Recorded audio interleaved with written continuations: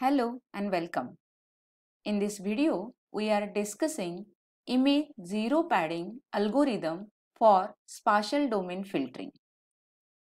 To implement it in OpenCV Python using PyCharm IDE. In image segmentation, in image enhancement or many image processing operations in spatial domain, we are using filtering operation. That is, we are convolving our image with a kernel and this kernel depends on filtering action. Either it is low pass filter, high pass filter, median filter or any edge detection kernel or filter. So let's see what is the effect of filtering on an image size. This is an image fxy. This is a kernel hxy. Here as an example, this kernel is low pass filter kernel or averaging mask. Its size is 3 by 3. All the elements are 1 1 and averaging coefficient is 1 by 9. We can write this mask like this also. And the pixels which we are updating in an image are all the pixels which will come under this candidate pixel in a convolution process. So in convolution process, we are circulating this mask over the image. Here I have not considered 1 by 9, just I have taken blank so that you can view the result properly. But elements of kernels are 1 by 9. Okay. So in this process, this pixel value of the image will get updated. Then next this pixel value of the image will get updated. Like this, we will circulate the mask over the image. And you can observe here in the first row, only these pixel value we can update with this filtering action. The boundary pixels will not get affected due to this filtering. Then second row, third row, and the last. If you observe properly, you will find that this boundary pixel will not get updated. So because of filtering, the filtered image size get reduced. Only the size of the image of filtered image is 4 by 4 where my original image size is 6 by 6. Now if I want to retain the size of the filtered image same as the original that is 6 by 6 here and I want to involve this boundary pixel also in a filtering action. For that we know that there are two options either zero padding and pixel replication. We already discussed this zero padding and pixel replication process in the previous video. So here we will consider zero padding. So what we are doing in zero padding, this is my image fxy. This is my averaging mask. This mask I can write like this also. Now to consider boundary pixels, what we are doing? We are padding zeros. Upper row, lower row, then column we are adding at the left and similarly at the right of zeros. So here we got our image with 0 padded. Now we are convolving our image with the mask. So your mask is here. You can check here the updating pixel is this boundary pixel. Now we'll circulate this mask over the image. You can observe here we are updating the boundary pixels of the image with the filtering action. Because of zero padding, you can update the boundary pixel also in a filtering action. So like this, we'll convolve our image, zero padded image with the kernel and we can consider boundary pixels also in a filtering action and due to that we can retain the size of the filtered image same as the original image. Now what we'll do, we'll change the size of the mask or kernel. Here I will consider 5 by 5 kernel. And here I have considered a same 0 padded image. So here image is 0 padded. Now I will convolve this image with this 5 by 5 kernel. This 5 by 5 kernel we can write like this also. Let's convolve. See your kernel is here that means you are updating this pixel of the image in a filtering action. You are not considering or you cannot update this boundary pixels. Even though your image is 0 padded here, with this increased size of kernel, you cannot update the boundary pixels. You can observe here. And we need to change the kernel size when we want to change the effect of the filtering. For example, in case of low pass filtering, if I want to increase the blurring effect in my image, I need to increase the size of the kernel. So like this, when we are increasing the size of the kernel, even though my image is zero padded, I cannot consider boundary pixels in a filtering action.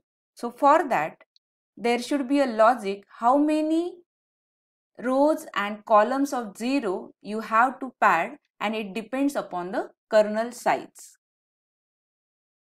So for this 5 by 5 mask, if I will pad 2 rows above the image, 2 rows bottom, 2 columns at the left and 2 columns at the right. And now let's convolve this 2 rows and 2 columns padded image with this 5 by 5 mask. Now you can observe here, we are considering the boundary pixels. When this image get convolve with the image which has padded with two rows and two columns, I can consider and I can involve my boundary pixels in a filtering action and filtered image size remains same as the original image size. So here I can conclude that how many number of zeros you need to pad it depends upon kernel size. Let's generalize this term. So here suppose your kernel has size k by k. Number of rows and columns you need to pad is k minus 1 by 2 by k minus 1 by 2. For k is equal to 3, 3 minus 1 by 2 by 3 minus 1 by 2 that is 1 by 1. You need to pad one row and one column around the image for kernel size 3. Similarly, for kernel size 5 by 5, what you have to do? 5 minus 1 by 2 means 2 by 2, 2 rows and 2 columns you need to pad around the image. Or you can write floor division k by 2. Floor division means quotient we are considering integer. So for kernel size k is equal to 3, 3 by 2, 1.5 and integer quotient 1. So you need to pad one row and one column for kernel size 3. Same for the kernel size 5. 5 by 2 is 2.5. So we'll consider integer value 2. At this point, we are ready to develop an algorithm to pad zeros to an image in a filtering action. Let's see the algorithm. First step is read the image with imread in OpenCV2. Then set the kernel using numpy array np dot array or you can use np1s and np0s depending upon filtering action. So we'll need numpy library. Then this is your image. Let's take a example 3 by 3 image fxy and kernel hxy 3 by 3. Next step is get the size of the image and kernel. For that method is shape. So here image.shape and kernel.shape. This s has two values s of 0 number of rows in an image, s of 1 number of columns in an image. Similarly k, k of 0 and k of 1. Size of image is 3 by 3, kernel 3 by 3. While developing code, we need to remember indexing for rows and columns will start from 0 okay now we need to develop next step is generate an empty array of size image plus number of rows and number of columns we are padding but here check the mathematical equation s of 0 plus k of 0 minus 1 similarly for column Here k minus 1 because we are adding rows above, bottom, then left, right. So we have generated this empty mask. Now the last step is paste the original image at the center of this empty mask like this. So automatically you will find your image with the padded zeros. Now to paste this image at the center, we have to develop a logic using a for loop. Let's see how it is. This is an empty mask. This is indexing starts from 0 to number of rows minus 1. Similarly for column, this is an image indexing for rows and columns. This is an kernel. Okay. S takes the size of the image, K takes the size of the kernel. Number of zeros, we are padding K minus 1 by 2. S of 0, number of rows 3. S of 1, number of columns 3. Similarly, kernel, number of rows and column. Now this i variable varies from 0 to s of 0 minus 1 that is 3 minus 1. So it is 2, 0, 1, 2. Similarly, j will vary from 0, 1, 2. 0 to s of 1 minus 1. Loop 1. So i is equal to 0 and this inner loop will execute completely. That is j varies from 0, 1, 2. Okay. Then z of i is 0 plus k minus 1 by 2 that is 1. 0 plus 1. j 0 plus k minus 1 by 2 that is 1. So z of 1 1 is equal to image i 0 j 0 image of 0. So image 0 0 will be placed at z this is z empty matrix z 1 1 here. Here we will place R1. Similarly, now inner loop will execute first. So j will increase to 1 and i remains 0 same. So z of this remains same 0 plus 1 and here j is 1 plus this value is 1.